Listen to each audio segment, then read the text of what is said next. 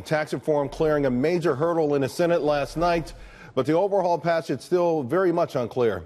Hours after House Republicans passed their tax bill, their colleagues on the Senate Finance Committee approved their version of tax overhaul, advancing it now to the Senate floor for consideration by the full chamber uh, for after the Thanksgiving recess. Now, uh, the Senate's uh, overall tax overhaul is slightly different than that of the House version sunsets uh, certain individual taxes occur after a few years, and there are other changes too that might make this a difficult process. Joining me now to discuss, Beverly Hallberg, District Media Group President and The Hill contributor, Sarah Westwood, Washington Examiner, White House correspondent, Ashley Pratte, U.S. News and World Report contributor, and Mark Meckler, Tea Party Patriots co-founder and Citizens for Self-Governance president. Thank you all for joining. Let me go to you first, Sarah. Uh, I, I, you can sense a, a, certain sigh of relief, if you will, from GOP, from Republicans on Capitol Hill, but there's also that anxiety that the Senate could still flub this. Absolutely. It's the same kind of problem that Republicans faced when health care was working its way through Congress, that health care passed with relative ease through the House, but then faced too many objections, too many hurdles when it got to the Senate, and the entire effort failed. The White House was faced with these questions during the briefing today that what happens if the entire tax reform push just falls apart in the Senate because there are already as many as six Republicans who are expressing doubts or trepidation about voting for the bill as it currently is. There's differences between the two pieces of legislation in the House and the Senate, and it's entirely possible that once again, uh, a signature piece of President Trump's agenda will fail when it gets to the upper chamber. Now, the good news, I, I suppose, Beverly, is that uh, uh, if they include the exclusion of the individual mandate and they buy themselves over $300 billion, that gives them some wiggle room. But there are certainly different sort of different forms of pushback in the Senate. There's some folks who think that small businesses aren't getting a big enough break. There are others who are worried about the deficit, and then there are others who just who just seem not to be on board with the Trump agenda. To be quite frank.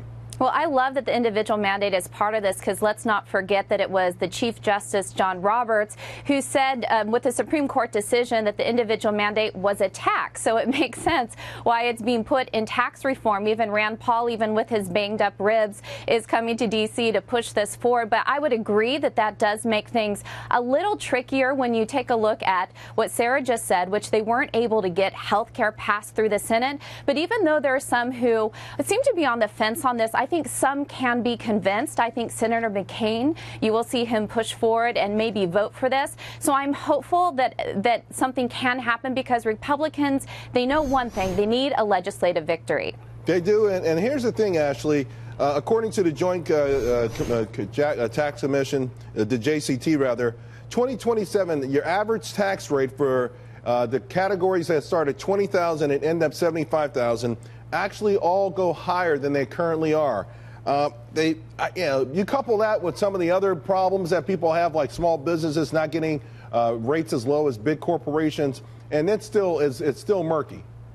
Right, and I, I do think you, you bring up a great point here, Charles, which is that there are some savings here that uh, can be found. I do think that moving forward, you do have some senators that are on the fence, and there's no doubt about that. You've seen the questions around health care. When it comes down to it, the main question seems to be from Senator Murkowski, which is, you know, if we don't have a health care structure in place here, are if the premiums are going to be higher, what is the benefit if we're lowering taxes? You know, because it's kind of a wash in the end. So that brings up your second point, which is, you know, this is where things are still a little murky. So because health care didn't go through, and now we're trying to do tax reform, there's a lot of murkiness when it comes down to it. So I think we will see some senators fall in line and get on board because, I mean, essentially, this isn't the Trump agenda here. This is a Republican agenda that we're looking to to accomplish. So when Republicans are really trying to push something forward and go back to their home states over the break right. that's coming up, they're going to need something to show for themselves. So I do think there needs to be some give and take here right. on tax Although. Mark, a few of these potential no's, uh, this is their last rodeo, right? So they don't, they're not worried uh, about. Uh, about being reelected, and some of them, even if they were, maybe they would still push back on their own per personal principles.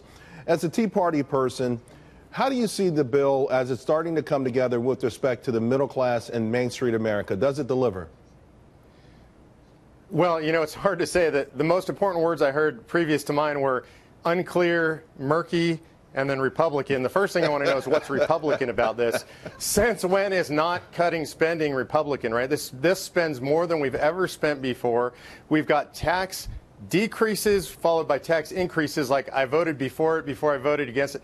There's just a mishmash, and honestly, the grassroots are just confused. There's nothing clear coming out of Congress right now. But you do agree, though, lower taxes in general will help the general public, Mark.